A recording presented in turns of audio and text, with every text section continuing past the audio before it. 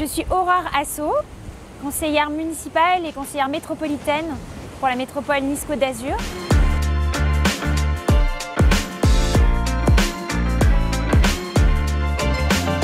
Dans la métropole Nice-Côte d'Azur, le maire a créé une, grande délégation, qui est la délégation santé et environnement, qui est dirigée par le docteur Richard Chemla.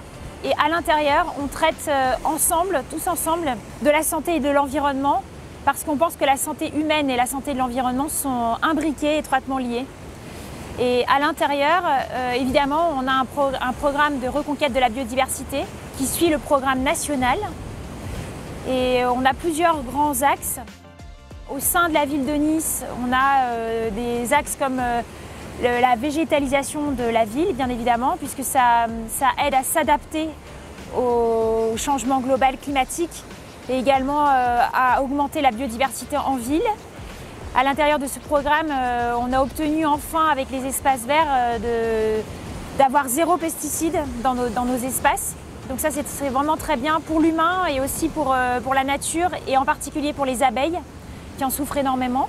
Également, on a nouvellement mis en place un programme pour réduire la pollution lumineuse parce que bien évidemment la biodiversité nocturne, tous les animaux nocturnes souffrent de cette pollution lumineuse.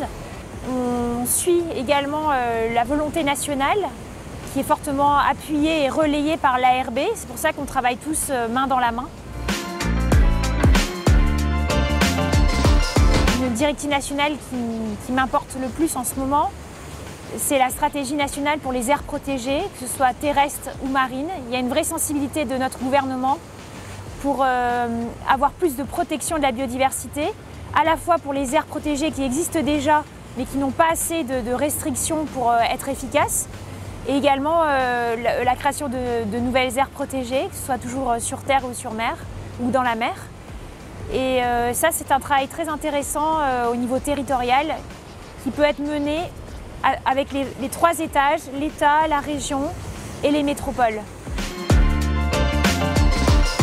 J'ai compris que l'ARB c'est un relais entre le ministère de la Transition écologique, l'Office français de la biodiversité, et les euh, instances euh, territoriales locales. Donc tous les, projets euh, que l'on mène, alors je vais parler juste du milieu marin parce que c'est plus ma spécialité, les mouillages écologiques, la politique Horizon Zéro Plastique, la protection de la biodiversité marine, on va toujours avoir un œil sur ce que fait l'ARB, et euh, relayer euh, euh, nos projets pour une demande d'accompagnement essentiellement. Une demande d'accompagnement de l'ARB et aussi connaître quelles sont déjà les stratégies mises en place. Parce qu'il ne faut absolument pas que chacun travaille dans son coin, il faut absolument qu'il y ait un rôle de coordination. Et c'est pour ça que l'ARB est très importante parce qu'elle effectue ce lien, cette coordination entre les objectifs énoncés par le ministère de la Transition écologique et euh, aussi les volontés locales, comment concilier ces choses-là? Cette année, on a la chance euh, d'accueillir dans notre région euh, le congrès annuel de l'UICN.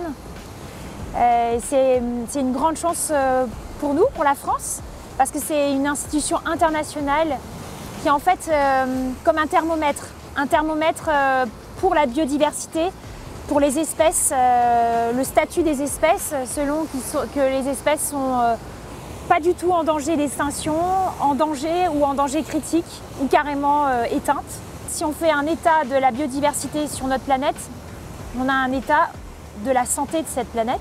Et de nouveau, c'est tout à fait lié à la santé de l'humain, puisque c'est notre environnement naturel.